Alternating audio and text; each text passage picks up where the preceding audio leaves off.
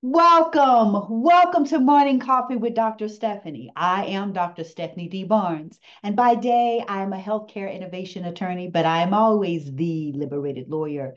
I am committed to helping high achieving women experience a life that is joyful, meaningful, and fulfilled because life is too long to be unfulfilled. And you know, I've got a question for you. What's in your cup? You know, as busy CEOs of our lives, we are always filling the cups of others. We're filling the cups of our loved ones with inspiration and love. We fill the cups of those in the marketplace, in the workplace with encouragement and motivation. But what is left for us? You cannot give from an empty cup. This is a little something for you so that you can serve others from the overflow. And today, I want to fill your cup with the greatness in simplicity.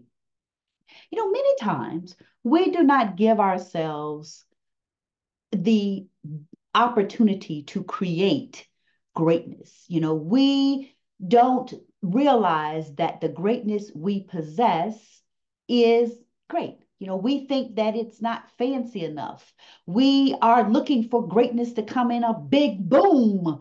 And many times, greatness is very quiet and it is just a peaceful breeze. You know, I was ruminating a while back and I wrote a note to myself. I'll read it to you. We look for greatness in the spectacular, the fire, the earthquake, and the high wind. Sometimes God comes to us in the whispers. Meditation and stillness is where you find the greatness. And I wrote that note and I thought about, wow, what a great message to share with you to encourage you to find greatness in simplicity. It's so important to recognize that greatness begins in the small and quiet moments of our lives. And like an arrow, we have to pull back to gain momentum. We have to tune out the noise and listen for the whispers of greatness in our lives. And so here are five ways to embrace greatness in the simplicity of our lives. Number one, appreciate that greatness is the mere completion of your task, no matter how long it takes. Whatever it is, whatever goal it is that you've set for yourself, completion is the markation of greatness.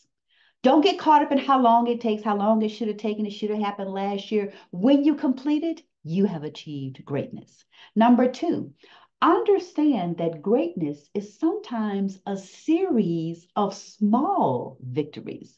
You know, we're looking for the big thing, and we don't realize that all these small accomplishments that we have steadily done is the greatness we need. We have to reflect and recount the moments that have led to now and see the magnitude of the impact of our small and steady movements.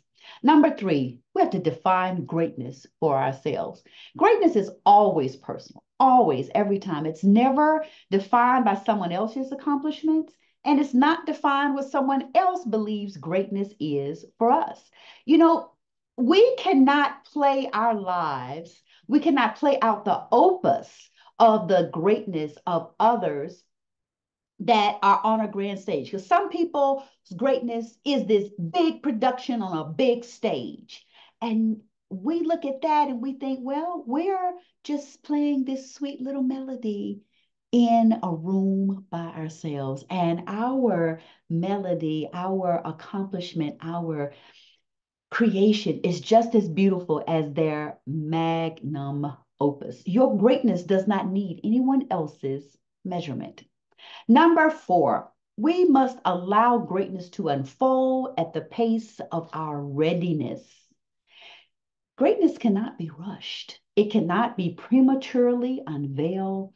It, if it is dropped in a rocky and infertile soil, it will not mature beyond a flicker of our rushed efforts.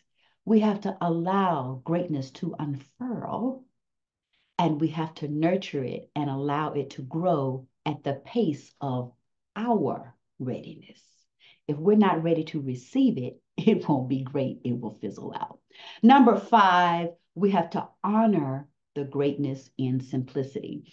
Simplicity is the quality or condition of being easy to understand or being natural. Great does not always need to be grand. Greatness does not come from confusion, and greatness cannot be forced. So, as you go throughout your day and your week, I pray that you find greatness in simplicity, the natural beauty of where you are, who you are, and in the simple magic that you create every day. Here's to your greatness. Mm, mm, mm. I hope that you have been inspired by this morning's coffee. And of course, if you are a woman who's ready to create your opus and you need someone to help you orchestrate, give your girl a holla and let's have a revelation conversation where we can begin to create the magic of your greatness that you are ready to embark upon today. Until next time.